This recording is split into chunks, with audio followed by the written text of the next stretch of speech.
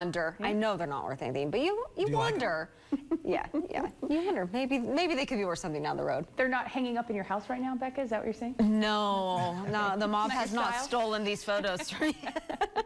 All right, happy Tuesday, everybody. It was another record-breaking day yesterday. We hit a high of 68 degrees, coming just a little shy of those 70s. Outside this morning, 37 degrees. Now, the difference between yesterday and today is that it's going to be a few degrees cooler, still in the 60s, and some extra clouds. But this is kind of the transition day because we are getting ready for some stormy weather, an atmospheric river event taking place from late Wednesday through Friday. Uh, the day that we're going to watch, though, that could potentially be a first alert day is going to be on Thursday. The reason behind it, heavy showers, valley rain initially, Sierra snow, and that will impact travel over the passes. Chain controls will be a possibility. Now, as far as winds, winds on Thursday won't be as bad as they will be tomorrow. Tomorrow's wind gusts 35 to 50 miles per hour, and temperatures are going to be cooling down as well. But it's really going to be on Thursday more of a precipitation event that we're watching. With that being said, this is a look at the winds for tomorrow. Notice those southerly winds picking up, like I said, gusts up to 50 miles per hour, and then winds should die down a bit overnight Wednesday into Thursday morning.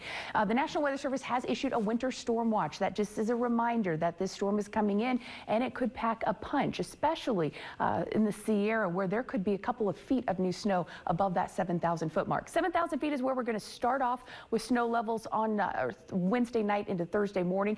But by Friday morning, as colder air moves in, we could see snow at times down to the valley floor. So this is a look at the future cast. This is actually Thursday morning. Uh, heaviest precipitation is expected early Thursday.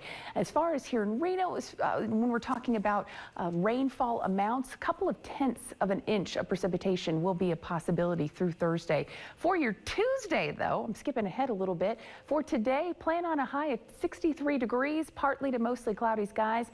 Uh, winds today 10 to 15 miles per hour. Highs in the low 50s around Lake Tahoe with cloudy conditions should be in the 60s from Yerington to Hawthorne, Bishop. Out near Elko this afternoon, 53 degrees. Mostly sunny, though, for the eastern zones. It's going to be a little cloudy in Fernley, Fallon, and Lovelock with highs in the 60s.